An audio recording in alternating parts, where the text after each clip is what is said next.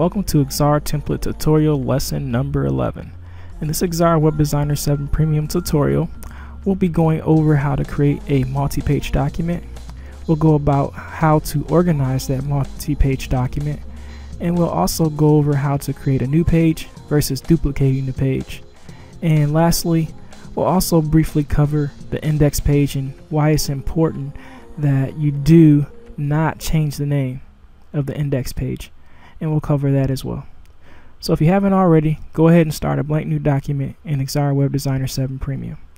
Once you do that, you're going to go to the right of your screen and look for a tab called Page and Layer Gallery. And if you don't see that over there, you know, unlike you can see it, you can see it on my screen because I already have it enabled. But if you don't see it there, go to Utilities in your standard menu bar, left click on that. Once you click Utilities, go to the first option, Galleries and you'll see a menu that pops out and it gives you a few different options. The one that you want to make sure is checked is the page and layer gallery. And alternatively, you could hit the F10 key if you wanted to go to it by shortcut without going to this menu. But make sure that it has this checkbox, this checkbox next to it. And once you have that turned on, you should have the page and layer gallery on the right hand side. If not, it can alternatively be attached to the left hand side depending on how you have the program set up. So let's go ahead and place our cursor over the page layer gallery. And I'll show you that one more time. Place your cursor over it, and once you hover over it, it'll bring out the, the page and layer options for your gallery. And the first page you'll see is the index page. And this is the page I was talking about. Do not change the name of it. Because the index page is what the web browsers recognize as your home page. So never change that. If you change that, then the web browser will be confused about what is your home page and it could cause all kind of issues with your website. And I'll show you what happens if I try to change the name of this. So place your cursor over the index text, left click it once, and you know let go, don't hold it. Just left click it once and you'll see that it opens it up where I can change the name. And let's just, you know, put whatever random letters, hit enter. Then you'll see this prompt that comes up and it says it is usually best to call the main page of your website index because most web servers expect to find index.html as the home page of the site. Are you sure you want to rename the page? I can almost pretty much guarantee you 100% of the time you do not want to rename. So hit the don't rename tab and left click that and don't change it. And let's go back to the page and layer gallery by placing our cursor over it and leave that as index. So just remember never change the index name because it's important for your home page. Next thing I'm going to uh, talk about is that any page that you have selected, it has a blue rectangle behind it. You'll see that this index page has a blue rectangle behind it because that's the page that we have selected. So let's go ahead and create a new page by clicking the new page option up here. And it, you see that it creates another page and now the blue rectangle is behind that second page. And you'll see some other options here too, mouse off, mouse off and mouse over but we're not going to worry about that. So let's click this little left arrow up here, and this is to collapse the page so that you can't see the layers because we're not going to deal with layers right now. And let's left click on the index thumbnail so that it's highlighted and so that we're selecting the first page of the, the document we're working in. And then let's go to the quick shape tool, which you should know how to use, and just draw any shape. And if you don't know how to use this, you want you're going to want to go to one of the previous tutorials that covers quick shapes and draw a few shapes and then go to your color editor and you should know that as well it's been covered in previous tutorials. And let's just give these squares a few different colors. And once you do that let's go back to the page and layer gallery. And you'll see now that the thumbnail reflects the changes that we made in our document. So this thumbnail is giving you a preview of what's here in the main document. So let's go back to page and layer gallery. And now let's click on page 2 and you'll know again that it's highlighted because it's a blue rectangle. And you'll notice that the workspace is empty because this page we haven't added any designs to it. But if we go back to page 1 in the page and layer gallery you'll see that hey it still has the squares that we drew with the same colors. So let's go ahead and make some designs on page 2 by going to page layer gallery and left clicking on page 2 once you've done that, go ahead and draw a few squares. We'll keep them all the same color as time.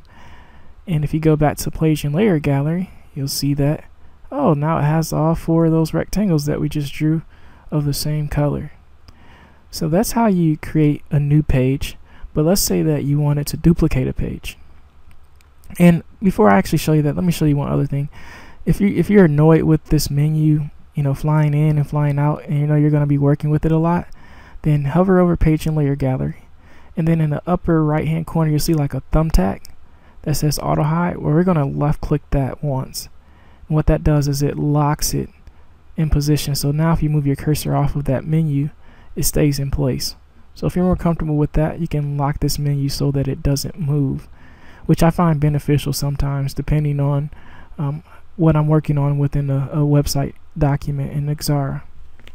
So let's go ahead and now we can close this and collapse it because again, we don't need to show the layers because we're not going to be dealing with layers in this tutorial. Let's go ahead and, and left click on the first page here and again collapse the the layers because we don't need to see that. And let's go ahead and hit the duplicate button. And let's left click on that. Once you left click on that you'll see that it makes an exact replica of the first page.